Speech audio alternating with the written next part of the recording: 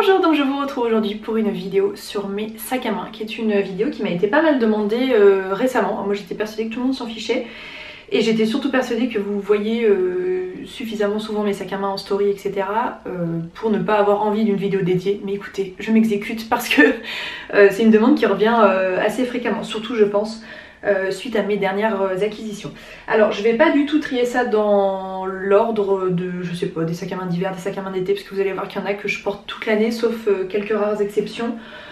Il y a un peu des couleurs ou des matières qui se prêtent mieux à une saison qu'à une autre, mais globalement je ne, me, je ne me freine pas dans le choix du sac en fonction de la saison. Je vous les ai tous amenés, sauf deux exceptions pour être tout à fait honnête, euh, ils sont tout en mon placard, ils sont bien rangés, ce sont mes paniers.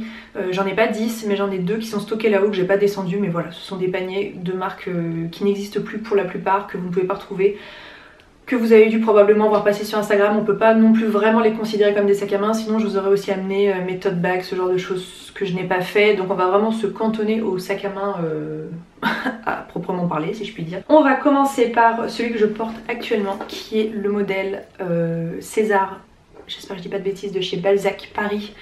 Euh, Balzac qui est une marque que j'aime énormément, que ce soit pour les accessoires que pour les vêtements. Euh, c'est une de mes marques coup de cœur de ces dernières années. Je crois que c'est la troisième ou la quatrième année que je porte ce sac. Il s'agit du César grand modèle euh, qui est parfait. Le petit modèle est un petit peu plus court ici et un petit peu plus bas. Voilà, comme si on lui enlevait cette portion là. Euh, J'ai un coloris rose poudré, il existe dans plein de cuirs différents, il existe avec des lanières plus larges, il existe donc en format classique et en format grand, mais le grand n'existe pas dans toutes les teintes. Euh, il existe en velours et en cuir, donc là c'est du cuir lisse rose avec cet aspect un peu... Euh, comment dit-on? Je ne sais pas. Avec des coutures voilà, verticales. Il est absolument magnifique, la chaîne est en métal avec la petite patte en cuir qu'on aime bien pour pas que ça fasse mal à l'épaule. Vous allez voir que 90% je pense euh, des sacs que je vais vous montrer sont des sacs à porter en bandoulière parce que c'est vraiment ce que je préfère. J'ai beaucoup de mal avec les sacs à main. Ça m'agace profondément et euh, j'ai un peu de mal avec les grands cabas. J'en ai quelques-uns mais vraiment 90% de ma collection de sacs est en bandoulière. Et la longueur est absolument parfaite sur moi. C'est un sac que je vous conseille si vous êtes grande parce qu'il est quand même assez grand. Moi le César classique fait vraiment sac de poupée sur moi. Le grand modèle fonctionne très très bien. Il vieillit bien, le cuir c'est un petit peu patiné. La boucle ici euh, qui était doré à la base est devenu argenté à force de frotter mais objectivement à part si on a l'œil dessus ça ne se voit pas. Euh, il y a bien sûr des petites marques un peu noires sur le cuir parce que voilà je le porte énormément mais il est en excellent état. À l'intérieur c'est du tissu, mais si vous voulez je peux vous montrer ce que je transporte dans mon sac. Voilà comme ça ça vous donnera une idée. J'ai euh, ma carte grise, j'ai des cartes de visite. Je ne suis pas mégalo, mais je les oublie tout le temps, donc du coup, je les garde avec moi. J'ai mon portefeuille qui est le Emily de chez Louis Vuitton, que je vous conseille pas du tout parce que vous allez voir dans quel état le petit bouton en cuir est. Je prends vraiment très très soin de mes affaires et euh, il est très abîmé, donc vraiment c'est pas un portefeuille que je vous conseille. J'ai des masques, du spray euh, désinfectant pour les mains, du gel hydroalcoolique, et un paquet de mouchoirs. Voilà, et c'est tout. Je ne transporte rien d'autre et tout ça rentre très confortablement dedans. Je pourrais glisser même une paire de lunettes de soleil ou autre. Voilà, il y a encore euh, bien de la place. Ensuite, j'ai ce sac de chez Fourla, qui est une marque que j'aime énormément, que j'ai acheté en outlet à l'outlet qui s'appelle The Village à Villefontaine à une demi-heure de Lyon. Je ne connais absolument pas le nom du modèle. Je ne sais même pas si du coup le modèle existe encore parce que c'était en outlet. Voilà, ça c'est l'exception qui confirme la règle, un sac qui ne se porte que à la main, qui peut même pas se mettre à l'épaule, qui n'a pas de bandoulière, qui est un véritable appel au vol parce que du coup il est complètement ouvert. Donc je glisse dedans des petites pochettes de ce genre là, celle-ci c'est une de chez Des Petits Hauts, vous avez une petite pochette ici zippée juste pour mettre genre les clés, téléphone, des trucs qui craignent un peu. Mais lui on vous l'arrache de la main, alors je suis pas obsédée par l'idée de me faire voler mon sac mais il faut quand même admettre que c'est pas hyper pratique et j'ai mis dessus un foulard de chez euh, Ben Simon. C'est un sac que je sors pour des occasions un peu plus particulières. Non pas qu'il soit beaucoup plus élégant que les autres, mais euh, ce format à la main euh, fonctionne bien pour une soirée, mais pas vraiment pour le quotidien, en tout cas pas pour mon mode de vie. Il est très beau, c'est un cuir un peu doré, mais j'ai l'impression qu'il est très brillant à la caméra, j'ai la fenêtre devant moi, mais il n'est pas aussi clinquant en réalité. Il est vraiment très élégant, je l'aime beaucoup. en outlet, j'étais ravie de le trouver, je ne pense pas que je l'aurais acheté au prix fort. Ensuite, j'ai la banane Make My Lemonade qui est un sac euh, qui plaira pas à tout le monde. C'est une très très grande banane oversize qui est faite pour être portée en bandoulière comme ça. La matière qui est donc cette moumoute noire je trouve se prête bien à la saison froide donc automne-hiver, moins au printemps-été donc c'est pas un sac que je porte actuellement. Donc ce sac c'est un vrai parti pris, je pense soit on adore soit on déteste mais je le trouve parfait, c'est une immense immense banane. Euh, je sais pas si vous vous rendez compte de la taille. Pareil, si vous êtes toute petite, à moins que vous appréciez bien ce côté un peu oversize, sachez qu'elle va rendre voilà, très très grande sur un peu petit gabarit. Sur moi, je trouve que ça passe.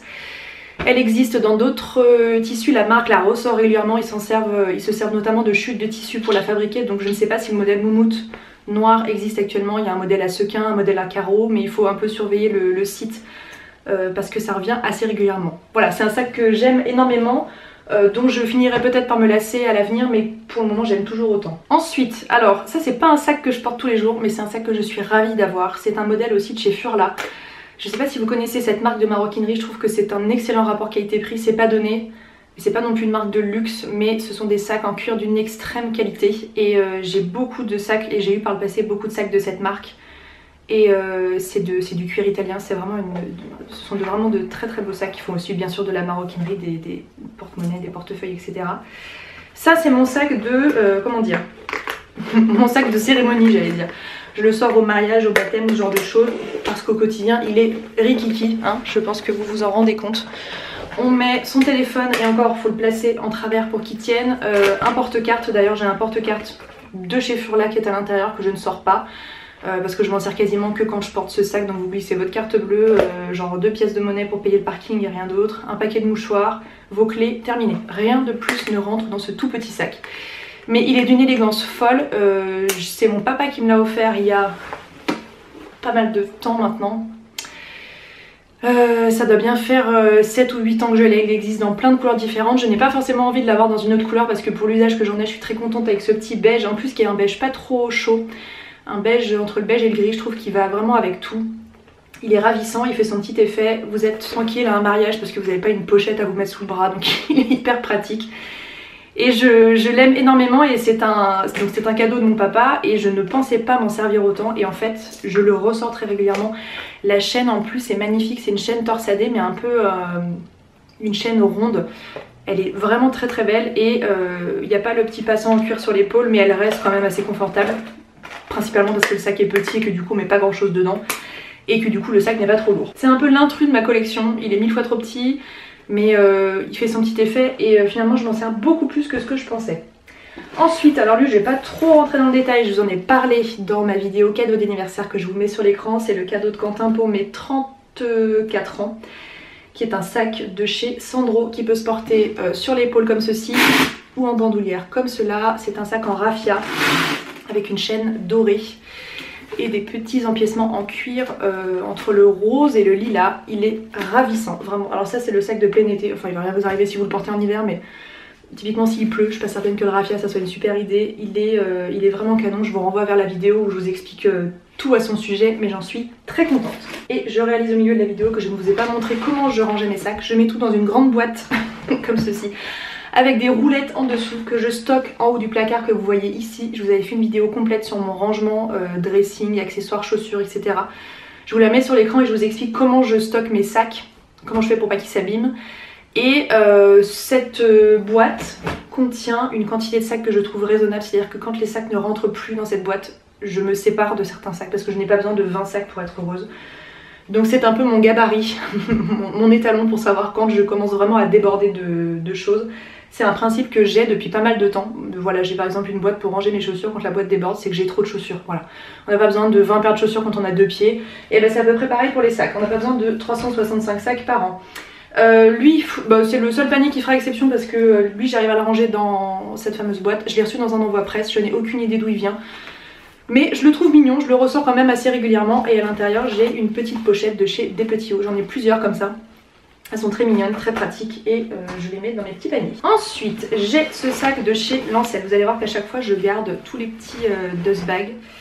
Alors lui, je lui ai enlevé la bandoulière, donc je vais vous la sortir pour vous la montrer. Je n'enlève pas forcément la bandoulière, ça dépend comment se configure le sac et puis pour euh, le ranger de la façon la plus correcte qui soit.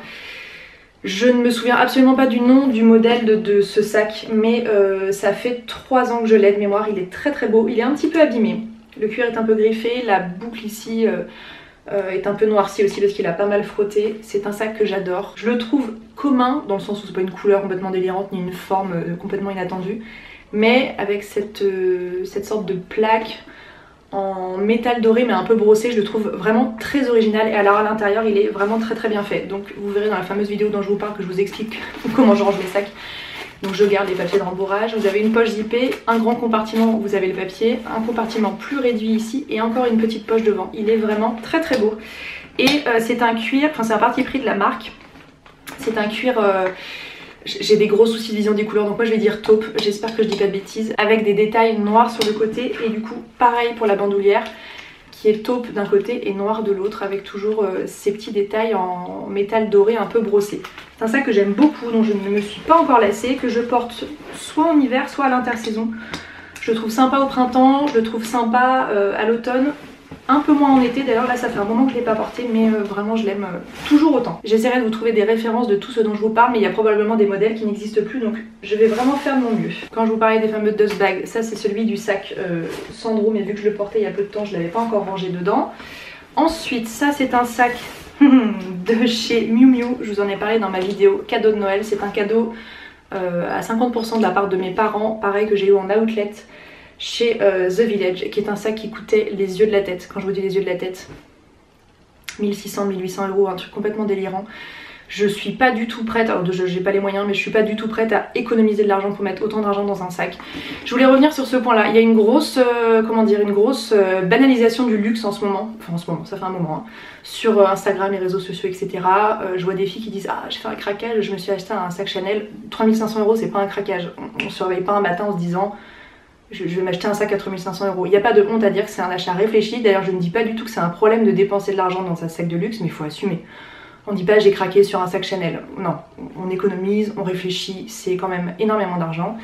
Et euh, comme disait, je ne sais plus, Jacques Segala ou quelqu'un dans ce style-là, euh, si vous n'avez pas une Rolex à 50 ans, vous avez loupé votre vie. Et bah, si vous n'avez pas de sac Chanel à 30, 40, 50 ans, vous n'avez pas loupé votre vie. Vous avez tout à fait le droit d'avoir envie d'un sac de luxe. En revanche, c'est pas un but dans la vie et euh, j'ai beaucoup de mal avec cette banalisation du luxe. Voilà, je, parenthèse fermée, je voulais juste vous dire ça. Ce sac donc coûtait extrêmement cher, je l'ai eu à 600 euros, ce qui est une énorme somme déjà, et mes parents m'en avaient payé la moitié et j'ai payé l'autre moitié. Donc il m'est revenu environ 300 euros. Euh, voilà, je vous renvoie à nouveau vers la vidéo cadeau de Noël parce que je vous ai expliqué tout, mais il est parfait. C'est vraiment le sac d'hiver. Alors, hiver parce qu'il est noir, mais euh, on peut clairement le porter toute l'année, il hein, n'y a pas de souci. Euh, il est très très beau. Il a une odeur, enfin, c'est un cuir vraiment d'excellente de, qualité. Et donc, c'est la maison Miu Miu qui fait partie du groupe Prada, si je dis pas de bêtises. Et voilà, lui aussi est dans son petit Dust Bag et lui je le ressortirai l'hiver prochain. Ensuite, une de mes récentes acquisitions, vraiment je l'adore, c'est ce sac de chez Mage qui est un sac un petit peu version cartable que j'ai acheté à l'automne dernier ou l'hiver dernier.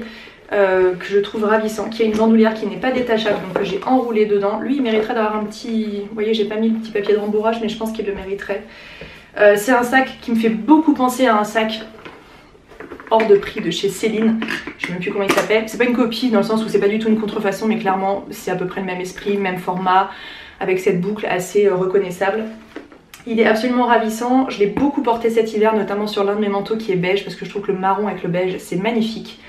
Il est très pratique, il a une, contenance euh, vraiment très correcte et euh, ça fait partie de ces sacs sur lesquels on, vous complimente parce que je, trouve qu'il sort un petit peu de l'ordinaire et vraiment il est ravissant. Typiquement ça c'est une couleur que je pourrais porter euh, toute l'année.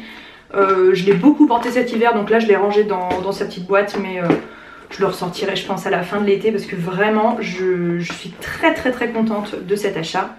Il est de la marque Mage, je ne sais pas si je l'ai dit mais sinon je vous le redis. Ensuite, alors j'ai opéré un tri euh, assez drastique dans tous mes sacs à main récemment. Ce sac a, passé l'épreuve du tri dans le sens où je ne l'ai pas vendu, mais je garantis pas de son avenir dans les mois ou dans les années qui viennent.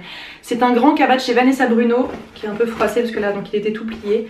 Euh, une sorte de, de, coton un peu enduit, avec un foulard que j'avais reçu dans une box ou je ne sais plus trop quoi, et des sequins un peu bronze. Donc c'est le plus grand modèle de cabas. Voilà, c'est très très grand. Vous pouvez quand même le mettre sur l'épaule. Je, sais pas, là je le vois dans le retour écran, je peux plus me le voir parce que je l'ai énormément porté. Et puis que je crois que je me suis lassée de ce modèle de sac. Je l'avais eu en vente privée donc il m'avait vraiment pas coûté grand chose. Mais euh, il est possible que je finisse par m'en lasser et que je m'en sépare. Voilà, je vous, dis ça, en en parlant, je ne sais pas pourquoi je l'ai gardé. Euh, parce que vraiment il me procure plus grand chose quand je le vois, je l'ai vraiment énormément porté donc je n'ai pas encore décidé de son destin mais il est possible qu'il euh, disparaisse de ma collection euh, dans le prochain tri. Ensuite, alors un sac sur lequel vous me posez énormément de questions à chaque fois que je le porte, je crois qu'il n'existe plus et c'est un drame, il s'agit d'un sac de la marque Coccinelle. Alors je ne connais pas, enfin je, connais la, marque de nom, mais c'est le seul sac à main que je possède de cette marque et je ne, je ne suis pas particulièrement les nouveautés de la marque. D'ailleurs, il n'y a jamais grand chose qui m'a attiré dans cette marque mais à Aoste, qui est donc une ville en Italie à quelques kilomètres euh, de la frontière française, dans laquelle je me rends assez régulièrement en famille, etc. Il y a un très grand magasin de maroquinerie qui revend notamment la marque Coccinelle. Et donc j'ai flashé sur ce sac, mais ça fait vraiment... Euh, je peux vous dire précisément qu'en 2014 je l'avais, donc ça fait 8 ans que je l'ai. Euh, c'est un sac qui est ravissant, qui a cette forme un peu demi-lune, dans un coloris à nouveau à mi-chemin entre le marron, le taupe, le beige, une bandoulière incroyable en tissu brodé avec un mélange de bleu canard, de vert et de doré qui est vraiment euh, qui est unique quoi. Et alors ce sac, bah, on n'en a pas entendu parler. Moi si je l'avais pas vu dans ce magasin, je l'aurais jamais acheté. Budget, je me souviens plus très bien, mais peut-être 150 ou 200 euros. C'est un très beau cuir, il a une forme vraiment incroyable et euh, je, l'adore. Et à chaque fois que je le porte, on me demande d'où il, vient, on essaie de, enfin on me demande de retrouver la référence. Je ne l'ai jamais retrouvé, en tout cas pas dans ce coloris là, et j'ai l'impression qu'il n'est plus commercialisé qui est bien dommage parce qu'il est vraiment très très beau. J'ai eu un souci de fermeture, j'ai perdu un aimant euh, donc il y a longtemps, je l'avais ramené en magasin, il me l'avait changé euh, gratuitement, le sac était donc sous garantie, il faut croire, j'avais même pas présenté de justificatif ou autre. Et pour information, il était vendu avec la bandoulière qui est donc complètement assortie au sac que je n'ai jamais porté. Parce que moi j'aime justement cette touche de couleur sur la bandoulière que je trouve très très très originale. Mais voilà il avait le mérite d'être quand même vendu avec une bandoulière classique. Et il me reste quelques petits extras à vous présenter. Cette pochette, qu'on peut pas vraiment considérer comme un sac à main, que j'ai depuis une éternité, que j'avais acheté sur Asos, qui est de la marque New Look, qui est vendue avec une chaîne. la chaîne est très très cheap, vraiment une chaîne argentée, euh, on dirait une laisse de chien, il n'y a rien qui va. Donc heureusement, elle a l'intelligence de se... de se faire discrète à l'intérieur de la pochette. C'est une pochette qui est très très bling bling, ça aussi ça fonctionne pour les soirées quand vous avez une tenue un peu euh, discrète une robe noire hyper élégante euh, ou un truc blanc et vous voulez une petite touche un peu pailletée. Bon, voilà, je suis pas complètement amoureuse de cette pochette, je l'ai beaucoup portée typiquement dans ce style euh, voilà, d'événements, des soirées, des trucs comme ça. Mais je la garde parce que euh, il faut admettre qu'elle fait quand même son petit effet, mais c'est clairement pas quelque chose que je porte tous les jours. Et elle se balade dans un dust bag de chez Fourla. Alors voilà, il y a des mystères dans la vie comme ça. Mais je récupère voilà tous ces petits sacs, j'en ai plein là qui traînent au fond de ma boîte. Et quand j'achète des sacs qui ne sont pas fournis avec des dust bags, parce que ça arrive quand même souvent, et bien comme ça, ça me permet de les recycler. Et je dois quand même faire une petite mention pour ces deux petites bananes co-créées avec ma copine Charlotte de Au fil des marmottes. Si vous me suivez sur Instagram, vous les avez sûrement vues, vous avez été très nombreuses à craquer pour euh, ces euh, bananes. Je voulais vous remercier parce que Charlotte, elle, euh, elle a fait un travail de dingue. Euh, c'est quelqu'un qui a énormément de talent, qui fait ça de façon extrêmement professionnelle. Et grâce à la vente de toutes ces bananes, euh, sa boutique a pris de l'ampleur, s'est fait connaître et je voulais vraiment vous remercier. Il y avait tout un aspect associatif aussi qu'on avait mis autour de cette co-création et je suis très très contente qu'elles aient vu le jour. Donc bien sûr, moi j'en ai une de chaque que j'adore par-dessus tout. La vente est terminée. Charlotte n'a plus de tissu pour les produire, mais je vous fais une petite exclue. Elle risque de revenir sous un autre format ou avec un autre tissu. En tout cas, voilà, autre version euh, dans les mois qui viennent. En tout cas pas dans l'été mais probablement à la rentrée ou à l'automne prochain. Et euh, je vous en reparle en temps et en heure mais euh, je les adore. Moi j'ai un coup de foudre pour ce, format de banane que je trouve tellement tellement pratique. C'est juste grand comme il faut, ça se sent pas, ça se porte facilement, ça rajoute un petit twist, ce velours, les fermetures dorées et donc j'avais bien sûr choisi un imprimé terrazzo à l'intérieur, je les trouve ravissantes.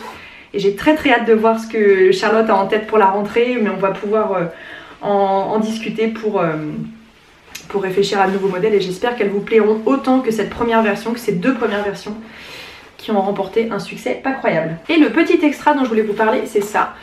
Euh, ça fait une éternité que j'ai acheté ce truc, c'est de la marque Ben Simon et en fait c'est un, un, sac de sac, comment on dit, un, organisateur de sac.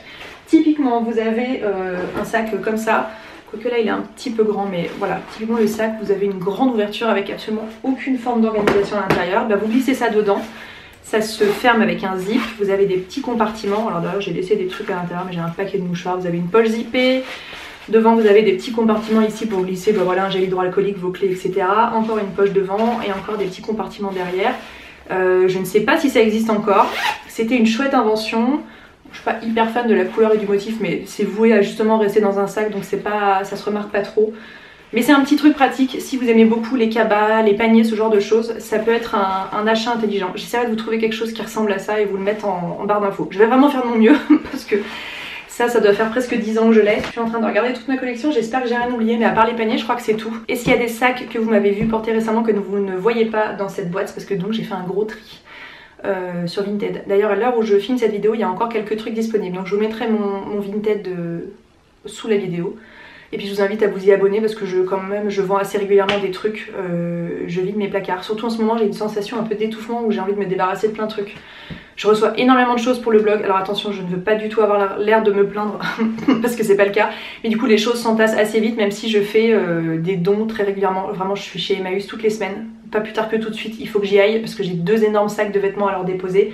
Mais euh, voilà, si je fais pas attention, il y a quand même pas mal de choses qui s'entassent.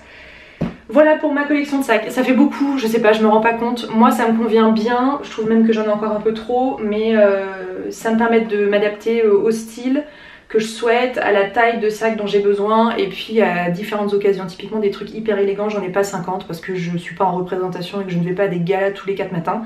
Donc ce sont plutôt des sacs du quotidien, mais je suis très contente de ma petite collection. Euh, qu'est-ce que je peux vous dire d'autre? Est-ce que j'ai des, est-ce targets? Est-ce que j'ai des trucs que j'ai repérés? Euh, Ça fait quand même pas mal de temps que j'ai très envie d'un sac de chez Pollen parce que je trouve que leurs sacs sont incroyables, mais je trouve pas de modèle qui me convienne à, à 100%. Euh, ils ont un sac saut qui est magnifique, je vous le mettrai sur l'écran, euh, mais qui a tout l'air d'être tout sauf pratique. Donc je suis pas certaine de craquer pour un sac de ce style-là, mais il faut admettre qu'il est vraiment vraiment très très beau. Sinon je crois pas avoir euh, d'autres repérages, en, tout cas pas des choses réalisables, j'entends pas des sacs de luxe à 4000 balles justement, dans des trucs un peu plus raisonnables, je crois que c'est à peu près tout. Mais je vous invite à découvrir surtout Furla, voilà, qui est une très très belle marque de maroquinerie qui je trouve est un peu sous-cotée et qui peut avoir une image un peu vieillissante alors que il y a de très belles choses chez Furla avec euh, une qualité qui est vraiment au rendez-vous. Ce sont pas du tout des sacs bon marché, on n'est pas non plus dans des sacs de luxe et le rapport qualité-prix est excellent. Contrairement par exemple à Lancel que je trouve trop cher. Alors c'est une belle maison de maroquinerie française, il n'y a rien à dire, mais je trouve les prix un peu trop élevés. Furla se place un petit peu mieux, quoique ça fait longtemps que j'ai pas acheté chez eux, donc à tous les coups les prix ont augmenté avec l'inflation. Mais euh, voilà ce que je peux vous dire sur ma petite collection. J'espère que cette vidéo vous a plu, j'espère que ça a répondu à vos interrogations. Je vous embrasse et je vous dis à très bientôt.